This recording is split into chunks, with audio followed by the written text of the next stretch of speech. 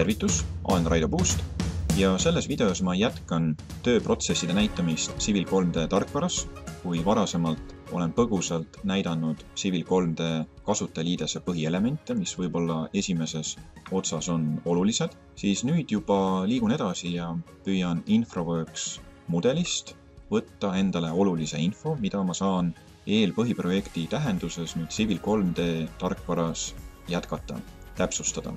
Kuna varasemalt ma olen loonud ühe tühja joonise ja andis sellele nimetuse Ehitada tee sõpruse, siis on oluline mõned asjad veel üle käia, enne kui ma hakkan Infoworks mudelit importima.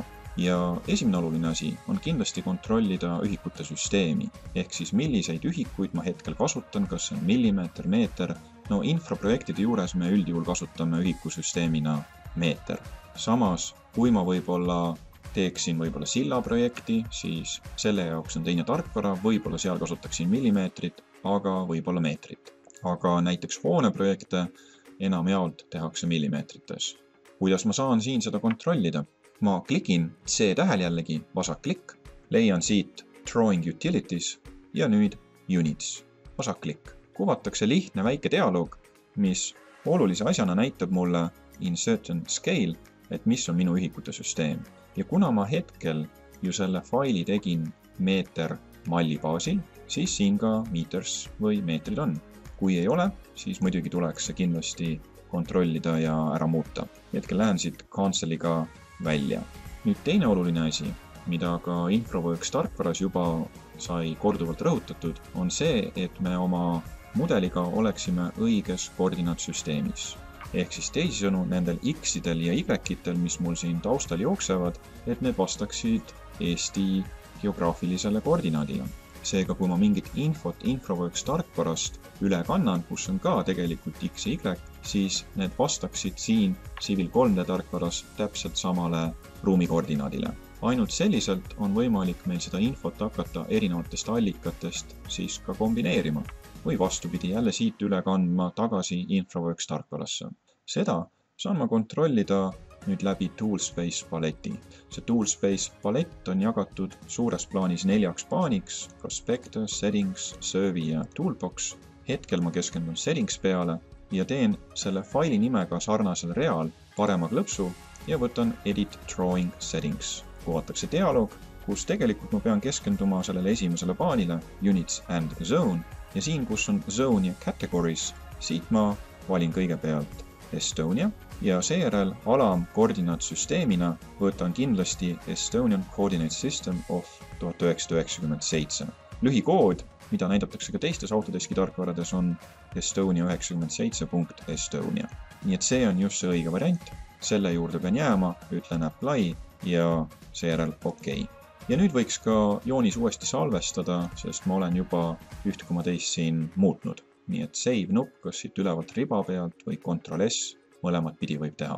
nüüd ma panen tähele, et need töövahendid siin Civil 3D tarkvaras on jagatud ribapaanidele. on home, insert, annotate ja meie fookus on siinsetes videotes muidugi ainult nendel aspektidel, mis aitavad meil mingit tööprotsessi läbi mängida ehk siis me ei lähe siin väga detailseks ja pöörame põhitähelepanu põhitööprotsessidele, mistõttu kogu Civil 3D tarkvara, ütleme selline keerukus või, või õpe saab selgemaks ajapikku. ma panen tähele, et üks paanidest kannab nimetust Infoworks ja läbi selle paani on mul võimalik Infoworks mudelit importida Civil 3D tarkvarasse. suures plaanis ma saan seda teha kahte moodi, kas siis olles eelnevalt Infoworks tarkvarast eksportinud IMX faililaiendiga faili või lihtsam variant on see, kus ma avan selle Infoworksi andmebaasi siin Civil 3D kasutajaliideses, teen valikud, filtreerin andmeid, mida soovin Civil 3D-sse üle kanda. üldjuhul ma ei soovi kindlasti kogu seda Infoworks mudeli sisu üle kanda siia ja ainult seda infot, mis siis on hetkel oluline või mida ma hakkan eelpõhiprojekti staadiumis ja ka tööprojekti staadiumis edasi töötlema. nüüd, kui ma klikin Open Model peal, siis kuvatakse dialoog Open Infoworks Model ja siin ma pean siis ära näitama, kus see minu andmebaas asub. kui ma korraks võtan siia kõrvale File Exploreri ja meenutan varasematest videotest Documents, seejärel Autodesk Infoworks Models, nüüd Autodesk kolmsada kuuskümmend ja sõltuvalt mitu nüüd erinevat Infoworks mudelit sa oled teinud, sa peaksid nägema siin alamkatalooge, minul on hetkel siin üks. Ja panen tähele, et siin on siis TalTech Digital Start, sellesama nimetusega projektiga ma töötasin ka Infoworks tarkvaras. Ja just sellele SQLite, mis on andmebaasi formaat, sellele ma pean siis viitama nüüd siin Open Infoworks Model. seega klikin Open, liigun soovitud asukohta, valin selle TalTech Digital Start, veendun, et siin all oleks muidugi eelnevalt ka SQLite. juhul, kui ma klikkisin selle Open Model peal, siis peaks see filter olema automaatselt SQLite peal, aga kui kogemata juhtub, et mul on näiteks IMX, siis muidugi mul seda SQLite faili siin ei ole näha, ta justkui on peidetud, jah. nii et SQLite valin selle faili, ütlen open ja nüüd ma näen, et äh, saadakse aru, et Infoworks tarkvaras olev koordinaatsüsteem kattub sellega, mille me just äsja siin Civil 3D tarkvaras ka paika panime. kui need ei kattu, siis näidatakse seda üldjuhul punase kirjana ja ma peaksin siis kontrollima, kas Infoworks tarkvaras on see asi korras, kas siin Civil 3D tarkvaras on asi korras.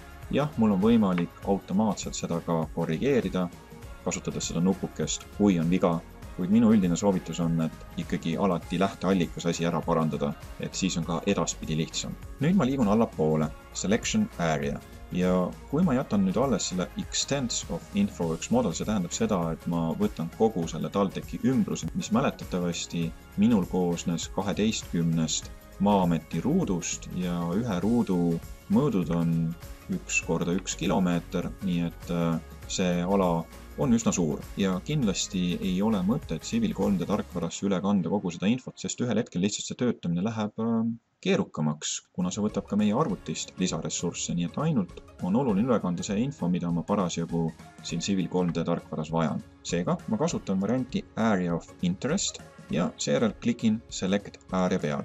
kui ma seda teen, siis panen tähele, et ühel hetkel tuleb mul äh, siia alla Aerofoto. see Aerofoto on hetkel nüüd Microsoft Bing teenusest, mitte siis Maa-ameti teenusest. seda, kuidas me saame näiteks Maa-ameti teenusest siia Aerofoto alla, seda me vaatame edaspidi.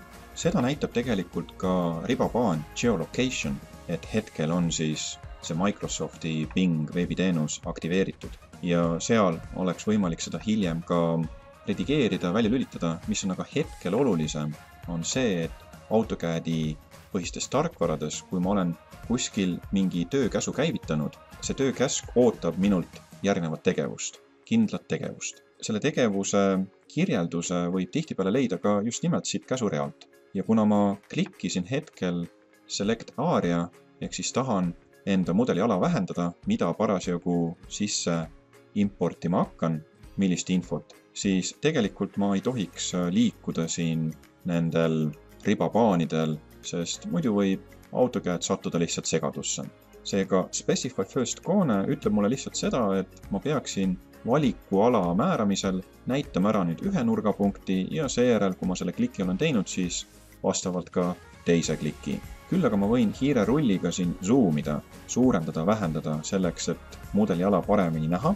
hiire keskmist nuppu ka kasutada selleks, et bännida või siis lihtsalt nihutada vasakule paremale. Ja kuna eelnevalt siis Infoworks tarkvaras olles sai rõhutatud, et ma soovin keskenduda Ehitajate tee ja Akadeemia tee sõpruse puieste ristmikualale ja märkisin, et osaliselt soovin kindlasti näidata ka erinevate sõidutee töövahenditega tehtud sõiduteedega seotud info ülekandmist, näiteks Vildede näide, mis ei olnud tehtud komponentidel baseeruva sõiduteega.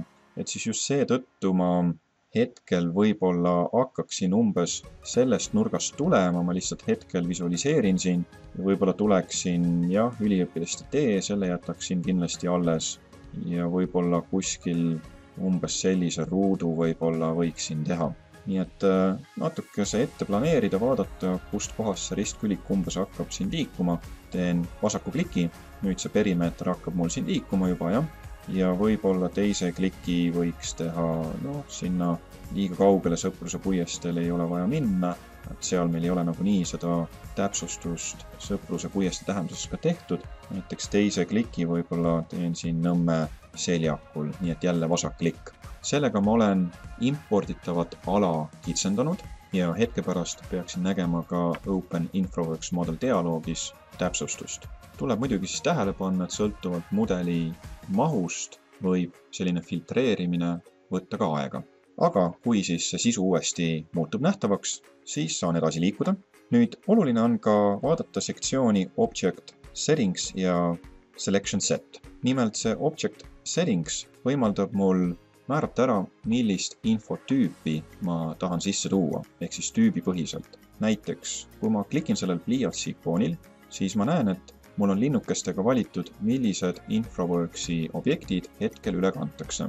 no ma näen, et siin on varasemates InfraWorks versioonides kasutusel olnud erinevaid sõidutee nimetamise mõisteid. meie hetkel siis keskendume ennekõike component roads ja planning roads peale nii et see on koht, kus ma saan valida, milliseid objekte või objektitüüpe soovin üle kanda. lisaks ma saan määrata kohe ette ära ka, et mismoodi see informatsioon siis konverteeritakse. AutoCAD-i põhistes tarkvarades me räägime ennekõike stiilidest, ehk siis stiil määrab ära selle komponendi või objekti väljanägemise. ja näiteks, kui me räägime pinnaobjektidest, maapinnast, mis on siis terrain surfaces, siis siin Civil 3D tarkvaras on see niinimetatud kolmnurkmudelil baseeruv pinnaobjekt Thin Surfaces ja kui ma klikin sellel kolmel täpil, siis on võimalik mul ette ära valida, millise stiiliga see tehakse. samas muidugi ma saan seda kõike teha ka hiljem, nii et seetõttu ma panen praegu siin cancel ja ka siin dialoogis cancel. nii et kui siin ma saan valida tüübipõhiselt all objects, siin on ka ette ära tehtud mõned, ütleme sellised enam levinud filtrid, et ei pea kohe siia pliiatsi ikooni peale minema, aga näiteks saan valida et ma soovin üle kanda ainult uue informatsiooni või projekteeritud informatsiooni. aga oluline on vaadata ja klikkida ka see Refine Selection Set peal. ehkki me oleme ala juba piiritlenud, siis ikkagi Refine Selection Set ja siin ma nüüd näen omakorda, milliseid komponente või objekte hakatakse InfraWorks andmebaasist üle tooma. näiteks terrain surfaces. no kõige olulisem terrain surface on muidugi existing ground mis on meil Maa-ameti punktipilvest tehtud ja seda me tegelikult välja lülitada ka ei saa ja seda me saame Civil 3D-s muidugi asendada täpsustatud andmetega, aga sellel baseerub hetkel meie InfraWorks mudel, mistõttu see info ka üle kantakse. aga lisaks on InfraWorks tarkvaras, kui me tegime seda uut disaini, ka siis see täpsustav maapind, näiteks seal erinevad äh, mahud, mis lisanduvad see existing transportation ja proposed ground. Need võivad jääda hetkel sisse. Nad muidugi mõjutavad meil ka faili suurust, aga me saame igal hetkel need Civil 3D-s ka välja lülitada. ma panen tähele, et mitte kõiki sektsioone ei ole siin juba valitud, et on hallid, mis tähendab lihtsalt seda, et seda hetkel InfoWorks andmebaasis ei eksisteeri. selles mudelis me näiteks ei lisanud torusid, kaevusid. samas järgmine sektsioon või siis suurem sektsioon on planning roads ja siin nüüd tegelikult kuvatakse absoluutselt kõik need äh, sõiduteed, mis siis selle ala sisse ka jäävad. mina hetkel kindlasti ei soovi kõiki võtta, vaid näite demonstreerimiseks sai ju nimetatud selline üldisem sõidutee Vildetee. otsin üles selle siit nimekirjast, Eduard Vildetee, nii et selle ainult linnukesega valin ja seejärel keskendume ainult component roads peale ja ka Component Roads juures ma ilmselt ei soovi kõike valida, nii et ma võtan linnukesega siit kõigepealt selle valiku välja ja seejärel võtan näiteks just need, mida ma ümber nimetasin. et neid on äh, kindlasti lihtsam ka valida, Raja, üliõpilaste tee, nii et neid numbreid ma ei hakka võtma. Neid väga palju ei ole, aga arusaadavalt, mida rohkem me ütleme siis ka liigset infot siia võtame, seda natuke keerulisemaks võib-olla see töö meil muutub vähemasti kas või selles mõttes, et äh, erinevates dialoogides, millise komponendi me peame valima ja nii edasi. Intersections, no las need kõik jäävad hetkel, nii et need on meie ristmikud, jällegi siis drainage networks, meil neid ei ole. Coverage area, et äh, need on siis alad, millega on mõjutatud, modifitseeritud meie maapinna objekti, et äh, las nad hetkel jäävad siin kõik sisse, kerin jälle allapoole eraldiseisvad water areas on ka olemas, ja kindlasti ma soovin siis üle kanda ka ringristmiku roundabout ja siis ka seda ühte viadukti või silda, nii et äh, bridges ja see on jäänud siis mul vaikimisi nimetusega. klikin seejärel OK, olen mõningad seadistused teinud ja nüüd siis juba järgneb open model. ja ma näen, et kokku on mul siin kakssada komponenti objekti, mis siis nüüd minu Civil 3D tarkvarasse laaditakse, millega ma saan siis nüüd järgnevates töövooludes juba edasi tegeleda. panen siis juba taustal tähele, et minu poolt valitud ala on rohelisega justkui esile tõstetud, tegelikult see roheline on lihtsalt maapinna objekt, mis nüüd selliste mõõtude või mahus üle kantakse, nii et algne ja suurem maapinna objekt justkui kärbitakse väiksemaks. nüüd peale importi peaks siis vastav dialoog automaatselt sulguma ja Aerofoto taustal peaksime nägema imporditud objekte komponente, mis siis teisendatud InfraWorks tarkvarast Civil 3D komponentideks. ja järgnevalt asumegi vaatama, mismoodi see konverteerimine on läbi viidud, millistest komponentidest me siin Civil 3D tarkvaras ennekõike räägime, kui tuleb tegemist teha sõidutee projektiga